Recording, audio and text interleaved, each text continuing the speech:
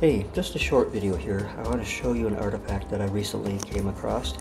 Um, it is of a uh, blue-green type stone that I've shown you before. The uh, cool thing about this is it's not a common form. I found one other piece like this. No, actually, three other pieces like this um, this past year, where the uh, it is it's curved. It's, it's been formed in a curve, and this curved end has been touched up uh, so that it's it's a nice chopping edge. Um, with the curvature, I, I, the other ones I found were smaller than this piece, but I feel that it could have easily served the purpose of a handheld crooked knife, or could have very well been an adze put into a handle. The handle would have been back on here, and the cutting blade here for either the crooked knife or the adze.